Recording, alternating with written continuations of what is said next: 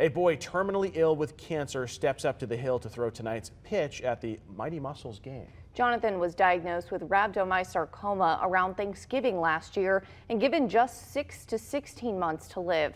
Wink News reporter Jolina Esperto is live at Hammond Stadium where he's beating the odds as he prepares to throw out the first pitch in tonight's game. Jolina?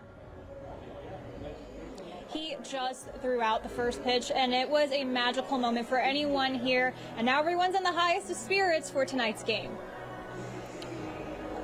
14 year old Jonathan was diagnosed with cancer around Thanksgiving last year, but today he is throwing the first pitch at the Mighty Mussels game, and he'll be turning 15 later this month.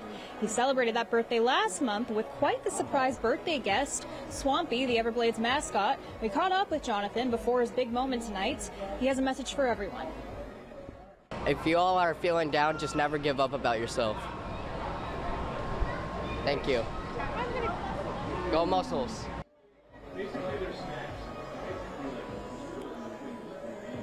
And this is Jonathan's first minor league baseball game, so he's definitely excited for that. Live in Fort Myers, Jolina Esperto, Wink News.